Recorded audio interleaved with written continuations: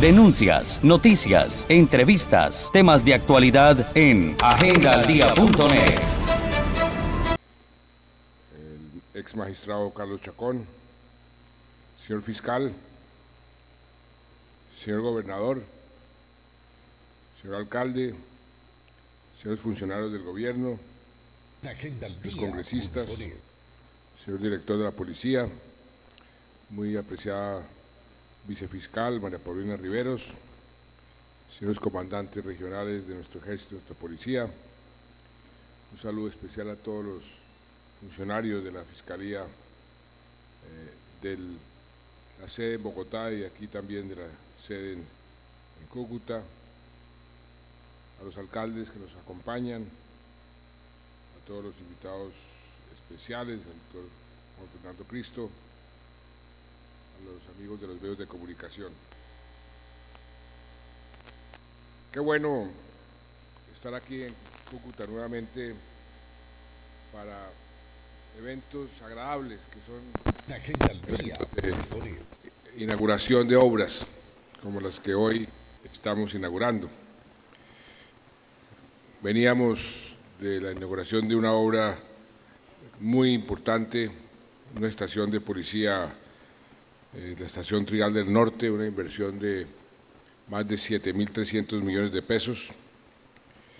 Y al mismo tiempo anunciamos que estábamos simultáneamente inaugurando dos estaciones más, la de Corral de Piedra y de San Fernando del Rodeo, por otros casi 10 mil millones de pesos.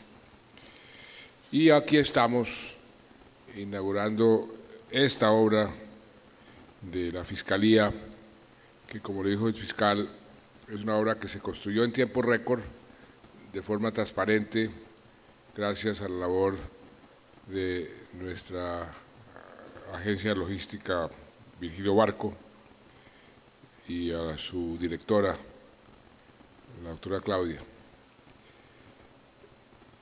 Esta obra, como lo decía el fiscal, demuestra que las cosas se pueden hacer bien, como hemos tratado de hacer bien todas las obras durante los últimos ocho años. Y la mayoría de las obras se han hecho bien, porque desde el comienzo del gobierno lo que hicimos fue un cambio de procedimiento, de hoja de ruta, para que las obras quedaran bien estructuradas. Ahí está la clave para poder hacer bien las obras, estructurarlas bien, planear bien, porque el país tenía la costumbre de iniciar las obras y licitar después, y por eso las obras acababan costando dos, tres, veinte o cien veces más de lo que estaban previstos.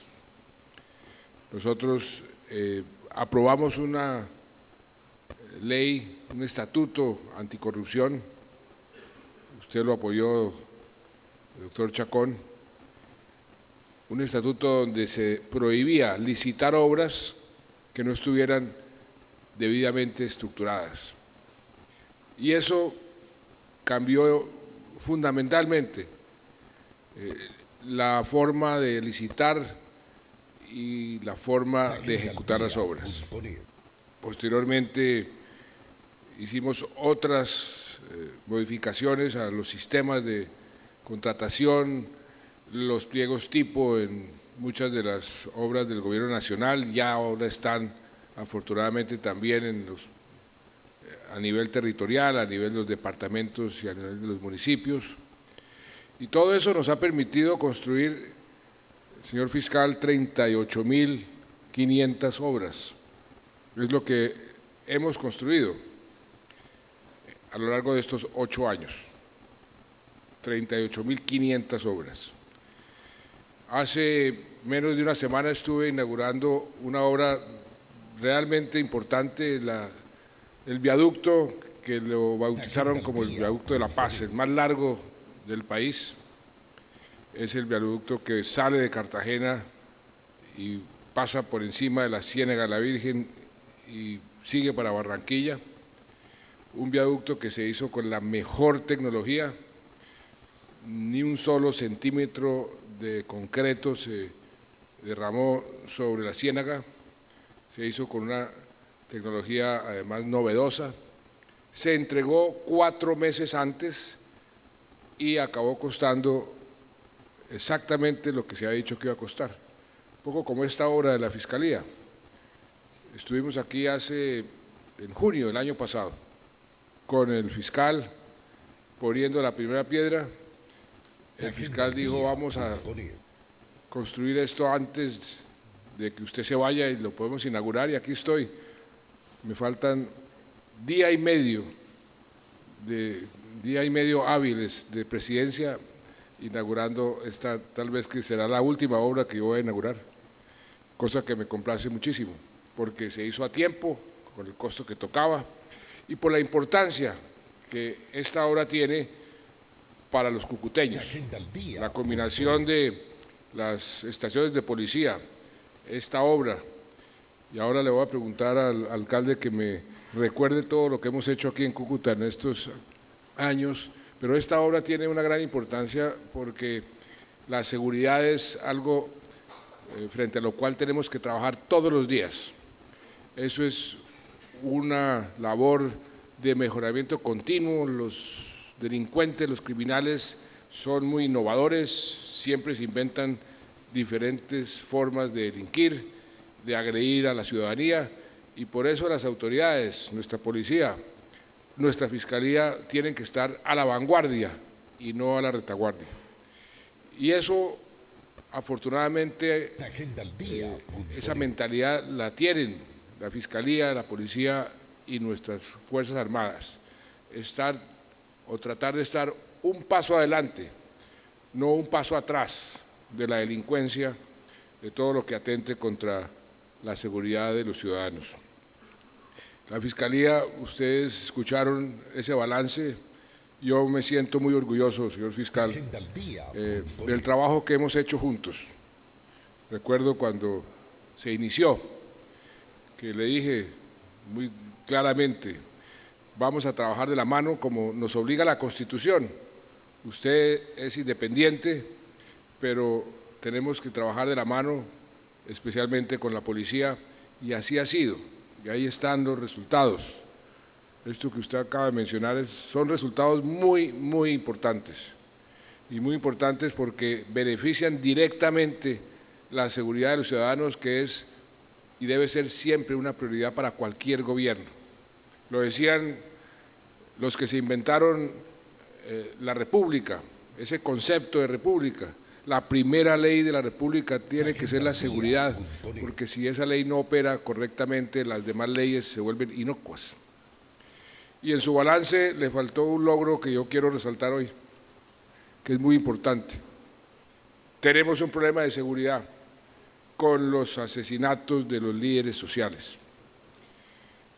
Esos asesinatos tienen diversos orígenes están asesinando los campesinos líderes que están promoviendo la sustitución voluntaria de cultivos ilícitos. ¿Y por qué los, están asesinando y quiénes los están asesinando? Las mafias, incluyendo las mafias mexicanas, todos los que tienen y se lucran del negocio del narcotráfico. ¿Y por qué? Porque esa solución es una solución real y de largo plazo que les quita su materia prima. Y como están viendo que está funcionando, como están viendo que efectivamente los campesinos que se comprometen a erradicar voluntariamente los cultivos de coca están sembrando otros productos y no están resembrando la coca, las mafias están nerviosas nos vamos a quedar sin materia prima y así lo están asesinando. Lo mismo está sucediendo con los reclamantes de tierras. Nosotros nos comprometimos a devolverle a los campesinos que fueron desalojados de sus tierras por la violencia punta de fusil, sus tierras. Y llevamos un número muy importante, 300 mil hectáreas ya que han sido adjudicadas por vía judicial. Eso nunca ha pasado en ningún proceso de paz del mundo. y ya están produciendo, pero hay otras 700 mil que están en manos de los jueces, ya están en manos de los jueces, fallando todos los días. Y todos esos individuos que se hicieron a esas tierras a punta de fusil están diciendo me van a quitar mi tierra y están asesinando a los líderes de los reclamantes de tierras. Eh, en fin, este es un tema que lo tenemos que seguir enfrentando con efectividad, por eso se crearon instancias especiales, una de ellas presidida por el propio presidente, pero aquí es donde quiero resaltar una labor que usted no mencionó. De todos esos asesinatos, el porcentaje de asesinatos esclarecidos por la Fiscalía eh, está alrededor del 50%. Y si ustedes comparan ese porcentaje con otros desempeños en esa misma dirección de otros delitos, esto realmente es un aumento de, la efectividad de la Fiscalía que yo quiero resaltar, porque es bien importante eh, por la coyuntura y por lo que estamos viviendo. La Fiscalía ha venido trabajando de la mano de la policía. La policía también la hemos venido fortaleciendo y yo me voy, y ahora voy para Tolemaida, al fuerte Tolemaida, a reunirme con nuestro ejército, nuestra Fuerza Aérea, nuestra Marina, nuestra Armada. Y a mí me produce una enorme satisfacción decir que estamos dejando las mejores Fuerzas Armadas de nuestra historia en materia de equipos y en materia de capital humano. Pero lo mismo podemos también decir de la Fiscalía de allá. Yo creo que la Fiscalía nunca ha tenido los equipos y la infraestructura que tiene hoy y nunca ha tenido un capital humano como el que se está construyendo hoy. Esta obra de infraestructura que reúne a todos los fiscales que estaban dispersos en una sola edificación es una condición necesaria, no suficiente. Lo otro es el capital humano. Y ahí la policía, la fiscalía, están haciendo también unos grandes esfuerzos. Nuestras Fuerzas Armadas están haciendo unos grandes esfuerzos para capacitar cada vez más a todos los funcionarios en los diferentes niveles para que hagan cada vez mejor su labor. Y ahí se están viendo los resultados.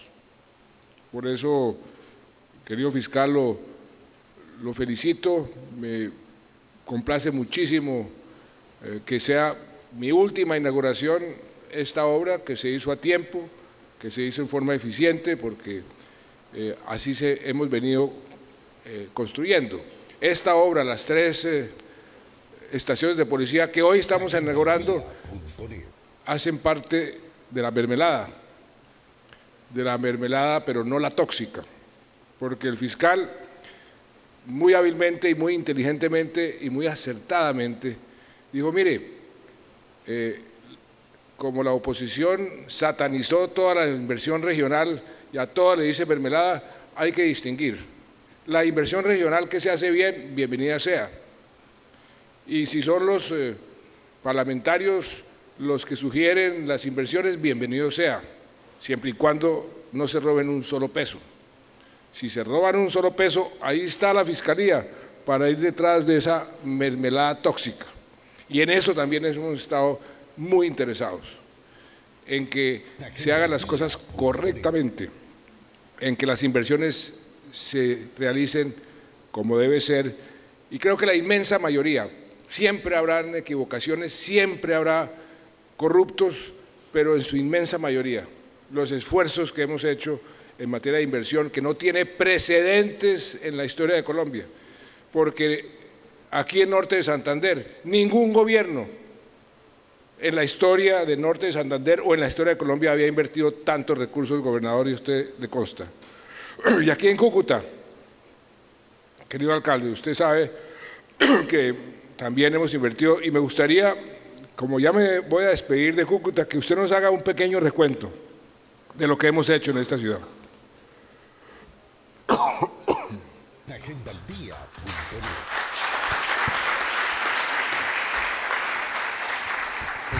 Le voy a dar la palabra, pero yo voy a volver a hablar. Gracias, alcalde. Más la doble calzada Cúcuta, Pamplona, Bucaramanga, dos billones de pesos y el acueducto metropolitano que Ecopetrol va a adjudicar en septiembre y que debe estar listo en el año 2020 por 380 mil millones de pesos.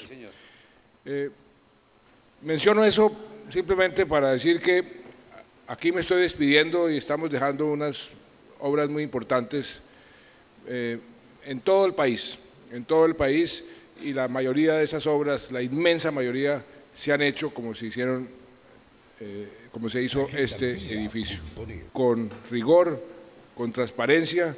Este gobierno ha hecho un gran esfuerzo en ese sentido y estamos entregando un país con unas instituciones mucho más sólidas, una fiscalía mucho más fuerte, mucho más eficaz, una policía mucho más sólida, mucho más capacitada para cumplir con su labor y así podemos ir haciendo el recorrido institución por institución.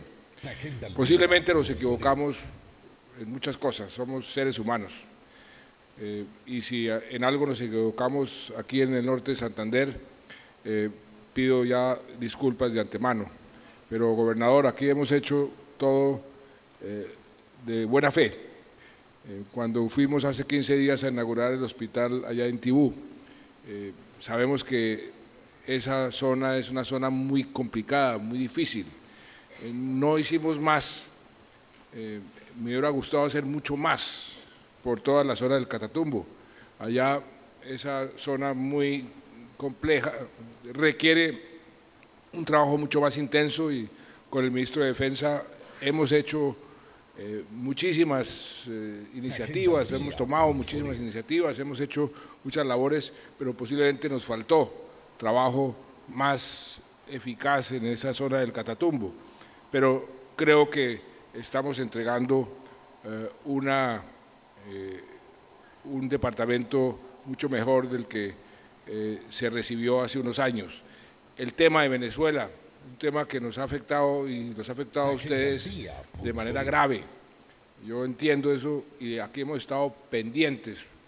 Eh, todos los consejos de ministros analizamos el tema de Venezuela, los migrantes de Venezuela, qué tratamiento se les dan. Ayer mismo expedimos un decreto eh, regularizando a los 440 mil venezolanos que fueron censados uno por uno para tener un censo muy claro, muy eh, preciso para darles los servicios que requieren. Les estamos girando a los hospitales cerca de 50 mil millones de pesos, entre los hospitales ah, aquí y en otras partes que están eh, recibiendo esa mayor demanda.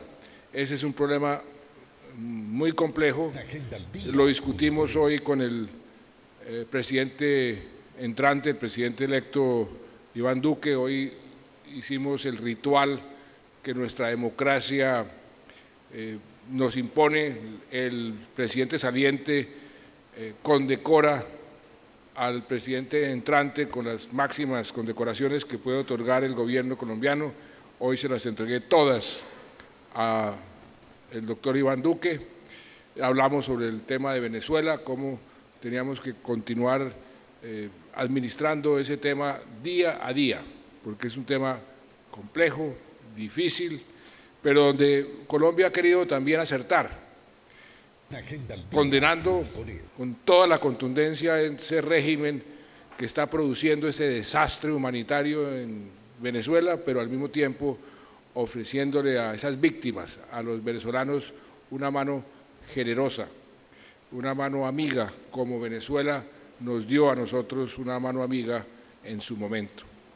Eh, la migración y el problema en Colombia es un hito y la forma como lo estamos administrando en la historia universal del momento, porque cuando uno ve lo que está pasando en Europa o en Estados Unidos, eh, las instituciones internacionales están diciendo, miren, vean a Colombia, vean el ejemplo que Colombia está dando para administrar un problema que por sí es realmente complejo y difícil. Yo espero y hago votos es para que la raíz de ese problema se pueda solucionar eh, o erradicar lo más pronto posible, que es el régimen venezolano que está produciendo semejante miseria. De manera que aquí vengo a despedirme, doctor Juan Fernando. Con todas estas obras se nota que hubo un ministro norte santanderiano en el gobierno, ¿no?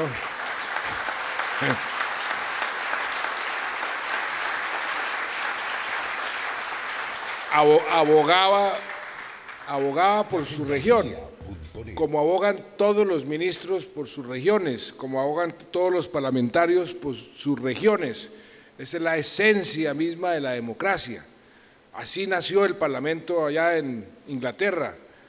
La gente diciendo, necesito representación allá porque si estoy pagando impuestos, quiero decidir a dónde se van esos impuestos. Así nació el Parlamento.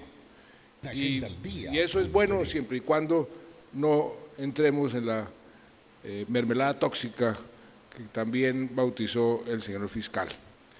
De manera que, queridos cucuteños y queridos norte santanderianos, eh, les agradezco enormemente el apoyo que me han dado, que le han dado a mi gobierno durante estos ocho años.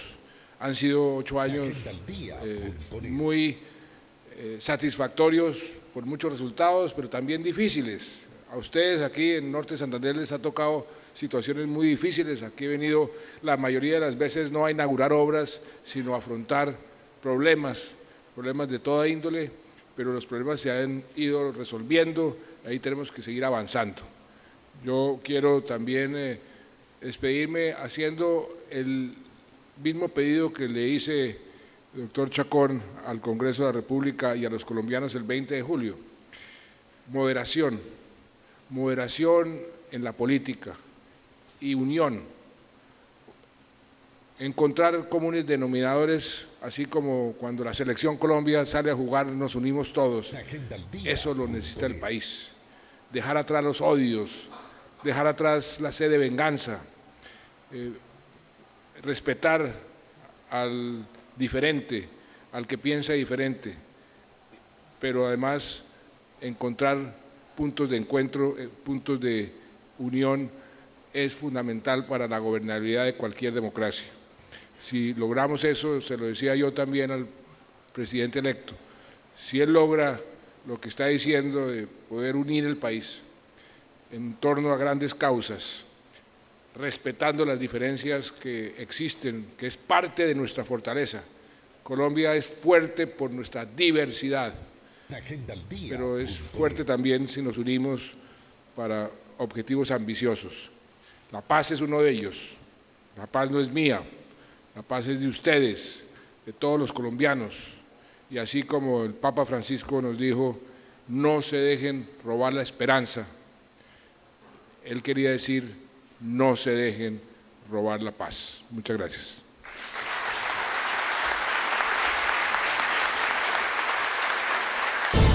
Denuncias, noticias, entrevistas, temas de actualidad en agendaldía.net.